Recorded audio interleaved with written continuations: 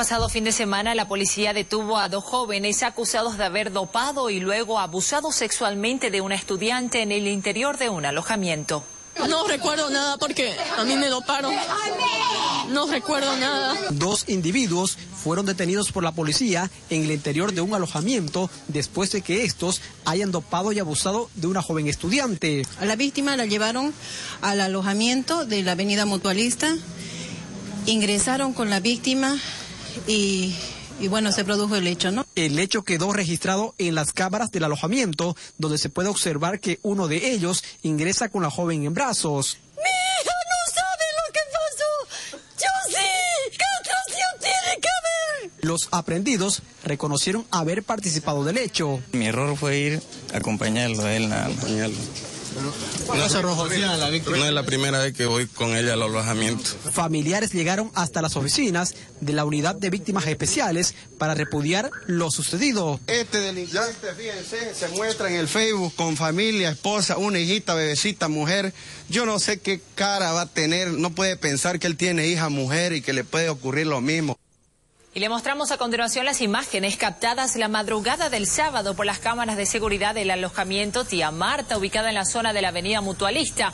Muestran el momento en que estos dos individuos ingresan al hostal.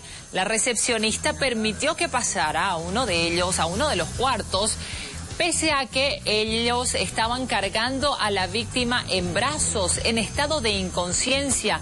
Los sospechosos, identificados como Esteban Monje Castro y Gustavo Monje Murga, fueron imputados por los delitos de violación en estado de inconsciencia y enviados al penal de Palma Sola este fin de semana.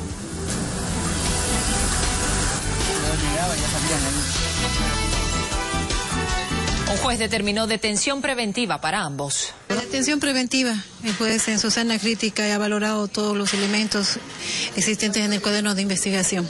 ¿Cuál es la imputación?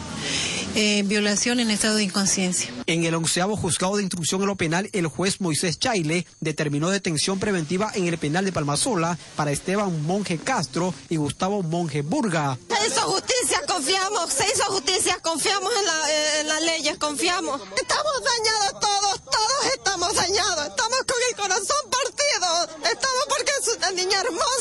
Terminada la audiencia, familiares de la víctima agredieron a los imputados.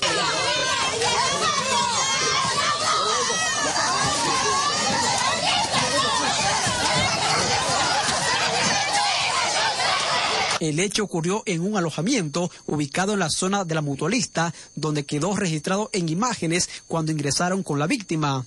Esta mañana la Fiscalía allanó y clausuró el alojamiento donde este fin de semana se registró la violación.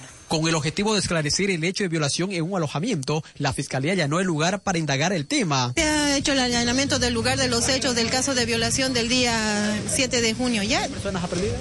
Ya han sido puestas a disposición del juez de cautelar el día de ayer y hay una detención preventiva para ambos. Recordemos que en este lugar Esteban Monje Castro y Gustavo Monje Burga habrían abusado de una joven estudiante quien se encontraba en estado de inconsciencia. Estamos investigando, en este momento no podemos dar mayor detalles, señor. Sacado del lugar. Eh, se ha sacado toda la, la, documentación de estas personas, se está clausurando en ese momento el alojamiento. El alojamiento quedó clausurado y de él se retiró información que servirá para la investigación.